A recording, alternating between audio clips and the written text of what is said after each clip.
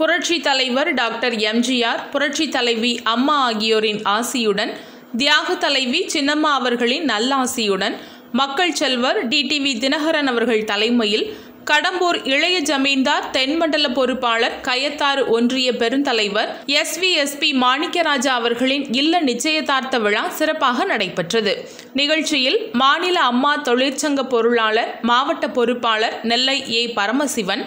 மாவட்ட அவைத்தலைவர் தாளை ஏ எம் மீரான் தச்சை பகுதி கழக செயலாளர் டிடிவியின் போர்வாள் கே பி பேச்சுமுத்து பாண்டியன் மாவட்ட எம்ஜிஆர் மன்ற செயலாளர் பொன்னுச்சாமி பொதுக்குழு உறுப்பினர் ஆறுமுகம் மாவட்ட இளைஞரணி செயலாளர் இசக்கிமுத்து